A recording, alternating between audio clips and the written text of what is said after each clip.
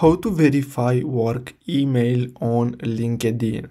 So basically what you're gonna have to do is simply go to your organization page, use the search bar to type in the name of your organization and then click uh, view page once your organization appears.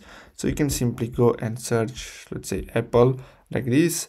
And then what you're gonna have to do is simply click on view page. Now the next step is to click the my company tab. So you're gonna have to click on the my company tab here. And then what you're gonna have to do next is simply so let's go back here. Maybe i shouldn't uh, use uh, apple as an example but you should have here this tab here my company tab. Then what you're gonna have to do is simply click verify email address and enter your work email. Then click send code and then simply verify. Now after you verify simply click confirm and basically that's it.